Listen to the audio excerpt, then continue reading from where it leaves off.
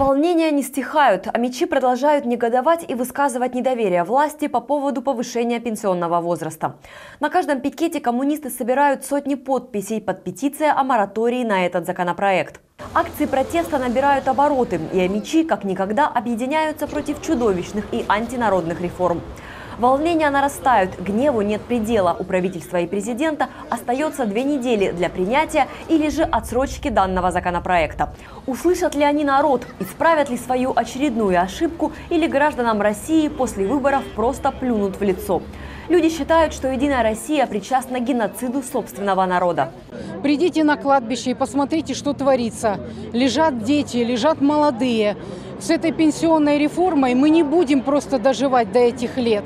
Это самое натуральное преступление против народа.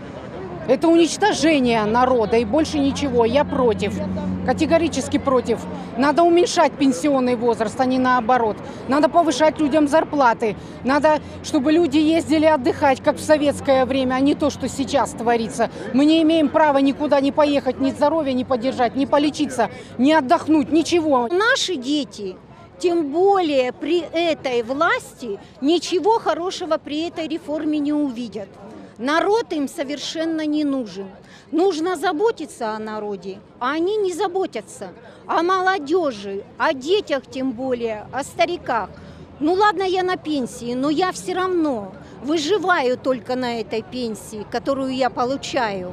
А дети наши могут, они с этой реформой вообще не платить пенсию. Так что я против этой реформы.